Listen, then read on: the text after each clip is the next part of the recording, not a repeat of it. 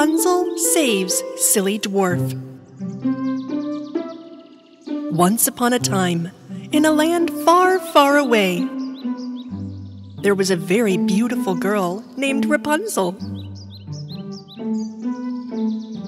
One day, this beautiful girl went for a stroll in the forest with her best friend Clapsy.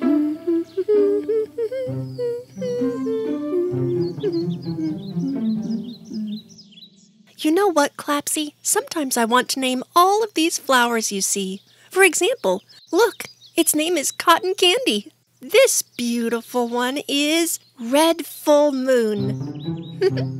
While Rapunzel and Clapsy were having fun among the flowers, somewhere far away from them,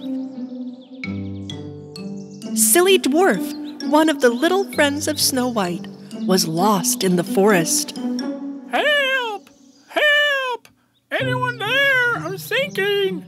Oh, look, Rapunzel. Let's name. Hush, hush, Clapsy. Do you hear that? Uh. Hear what? Help! Anyone there? I'm sinking! Someone needs help, Clapsy. Rapunzel put Clapsy on her hair and started running fast. It turns out that Silly Dwarf fell into a swamp and sunk almost completely. As soon as he cried out, Rapunzel came to his rescue.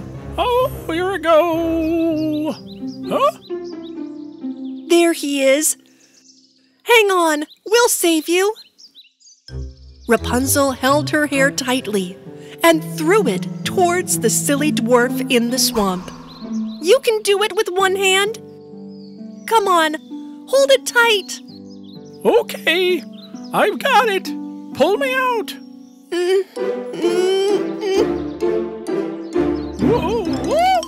Thanks to Rapunzel, the silly dwarf was saved from the swamp. But this time he was caught in a tree. Oh, wow, my hat's still on. Oh, help! I'm stuck up here. You little silly. Huh? What? How did you know my name is Silly? No, I don't. I was just laughing at your silliness. Here, catch it. Silly Dwarf slipped down from the tree, clinging to Rapunzel's hair. Whoa. Well, thank you. You saved my life twice. This forest is full of surprises. You should always be careful. Silly Dwarf was stunned when he saw a talking hair clip.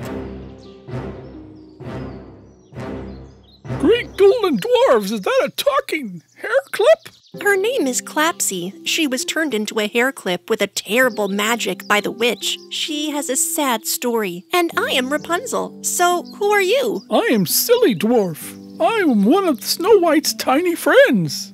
Oh, I should have guessed. Silly Dwarf. Do you know Snow White? Yes, of course I know her. Today is Snow White's birthday. A very nice birthday party will be held at the castle.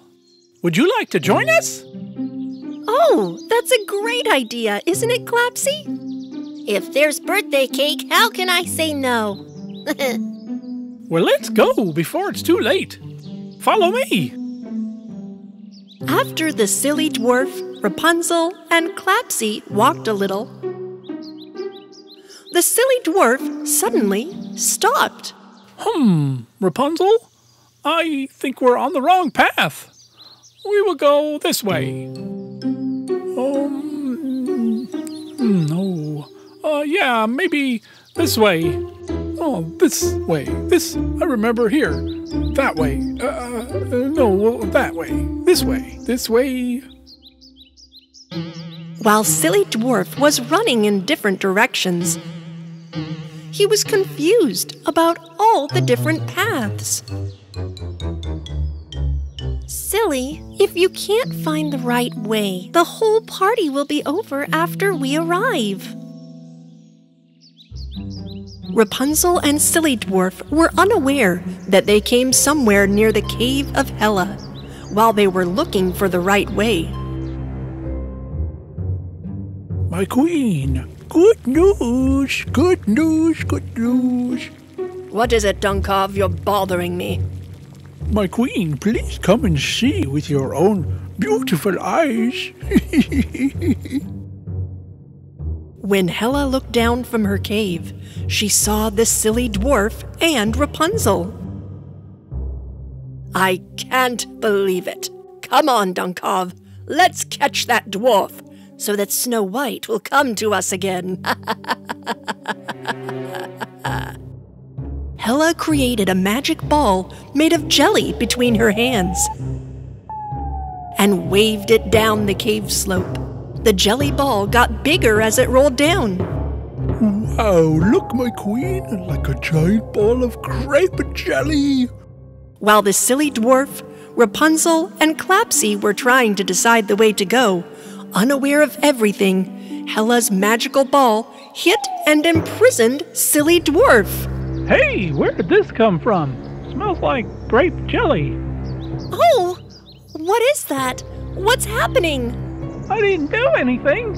I, I didn't do anything. Help! Until Rapunzel understood what was going on, Silly Dwarf started to rise towards the sky. Huh? Hey! Oh no! As the silly dwarf comes closer to the sun, my magical jelly ball will be melted and. We'll turn into a piece of cake. No, Dunkov! Will be melted and. While Hela was telling her treacherous plan, Silly Dwarf kept on rising to the sky.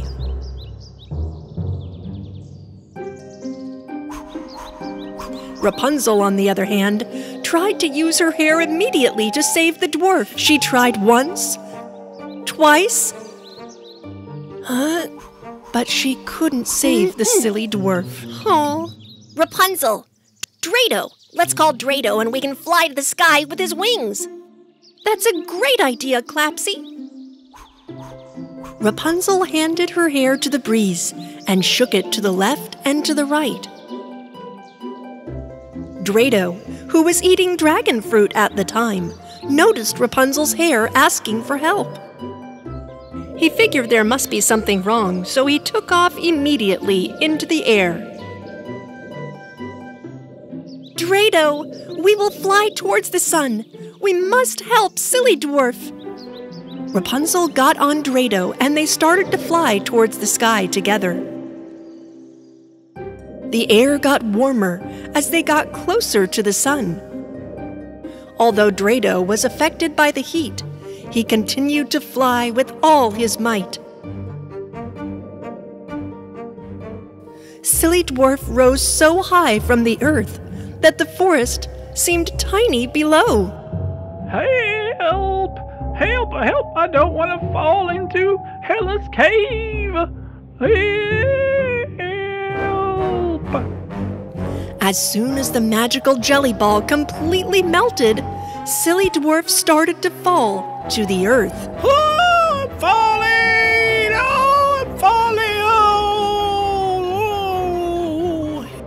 Drado caught Silly Dwarf with one last flap as he was about to fall completely. oh, well, that was close. That is the third time. We saved your life three times. You sure did. Where did this big bird come from? He's a dragon, my friend Drado. Finally, Silly Dwarf, Rapunzel, and Clapsy found the castle of Snow White thanks to the dragon Drado. Hey, look, there's the castle. Silly Dwarf immediately ran to Snow White.